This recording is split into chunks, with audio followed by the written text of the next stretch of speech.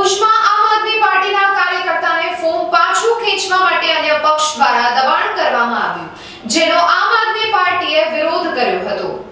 સમગ્ર ગુજરાત રાજ્યમાં સ્થાનિક સ્વરાજ્યની ચૂંટણી માટેના પડઘમ વાગી રહ્યા છે અને હવે અંતિમ તબક્કામાં તમામ પ્રક્રિયાઓ ચાલી રહી છે તો દરેક પક્ષમાંથી ઉમેદવારોએ પોતાના ઉમેદવારી ફોર્મ પણ નોંધાવી દીધા છે.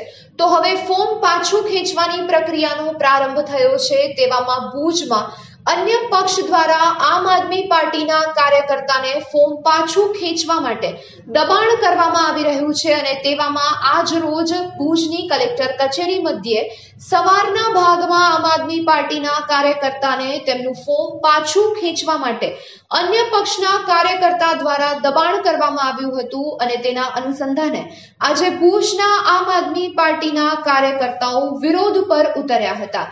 તેમના જણાવ્યા અનુસાર, ભારત દેશની લોકશાહી એ લોકો વડે ચાલતી લોકશાહી છે અને તેમાં લોકશાહીને બદલે તાનાશાહી નજરે ચડી રહી છે. તો આ અંગે કોઈ પણ વ્યક્તિ પર કોઈ વ્યક્તિ દબાણ ન કરી શકે તેવો એક કાયદો છે. તો આ બાબતે આવો વધારે સાંભળીએ ભુજની આમ આદમી પાર્ટીના કાર્યકર્તાના શબ્દો. આ છે ને, આ લોકશાહીનું આજે ખરેખર ખૂન થવા જઈ રહ્યું હતું. અને લોકશાહીનું ખૂન અમે બચાવ્યું છે. લોકશાહી પર્વ છે, ચૂંટણી એક લોકશાહીનું પર્વ છે. જે લોકશાહીના પર્વની અંદર બધાએ ઉમેદવારોએ પોતાની પોતપોતાની રીતે ઉમેદવાર ઊભો રાખવાનું અને ઉમેદવારે ઊભા રહેવાની છૂટ છે. પરંતુ આ પક્ષોની પોતાની તાનાશાહથી, તાનાશાહી ચલાવી રહ્યા છે. અને અમારા ઉમેદવારશ્રીને ખૂબ દબાણ કરતા હતા. અને છેલ્લા ત્રણેક દિવસથી એને કન્ટિન્યુ એને ફોર્મ ભર્યું. ત્યારથી એને દબાણ કરતા હતા કે ભાઈ તું પાછું ખેંચી લે. અને એ સવારે જ્યારે ઘરે હતા ત્યારે એમને ખબર પણ નહોતી કે ક્યાં જવાનું છે. ઓચિંતાનું એમને લઈ ગયા કે ચાલ તું અમારી સાથે. અને કલેક્ટર ઓફિસે એમને લઈ આવ્યા. અને ત્યારે એમને કાંઈ ખબર જ નહોતી કે એમને ક્યાં સહી કરાવવાની છે. એને સહી કરાવવા માટે ખૂબ દબાણ કરતા હતા. એવું અમારી સાથે આજનું આ ઘટના બનાવ બનેલું છે. જે બુક ખૂબ જ દુઃખજનક ઘટના કહી શકાય કે આ ખરેખર લોકશાહી તંત્રની અંદર આ ચાલે એવું નથી. જે આપ મીડિયા સમક્ષ આપ મીડિયા પણ જેના વીડિયો વગેરે વાયરલ આપે જોયેલા હશે. નહીં અમે તંત્રને એટલું જ કહીએ છીએ કે હવે આ આટલું ધ્યાન રાખજો કે લોકશાહીનો ખૂન ન થઈ જાય ક્યાંક. આ લોકશાહી જે છે એ લોકશાહીનો પર્વ શાંતિથી અને સરળ રીતે ઉજવાય અને કોઈ જાતનું કોઈને દબાણ કરવામાં ન આવે અને ખોટા કોઈ પણ જાતના ઉત્પાદો કરવામાં ન આવે એવું જ અમારું એક ખાલી તંત્ર સામે અમારી માંગણી છે રિક્વેસ્ટ છે. નહીં દબાણ કરવામાં એવું હતું કે એમને ખાલી એક જ કહેવામાં આવતું હતું કે તમારું ફોર્મ ખેંચી લો, કારણ કે એ લોકો પોતાની હાર ભાડી ગયેલા છે. અત્યારે આ જે સત્તા પક્ષ છે એ પોતાની હાર ભાડી ગયું છે. એને બીક છે કે અમારી અત્યારે સત્તા જઈ રહી છે. અરે, એ લોકોને તો એટલા સુધી બીક છે કે બે હજાર બાવીસની અંદર ગુજરાત રાજ્ય જાય છે આખું. એની બીક ભાડી ગઈ છે, એ લોકો બીક ભાડી ગયા છે. બીકના માર્યા એ લોકો આ બધું તંત્રો ચલાવી રહ્યા છે. બીજું કાંઈ જ નથી. મારું નામ છે બ્રિજેશ ગોર. એ તેડી જવાનું બધું એવું બધું હતું.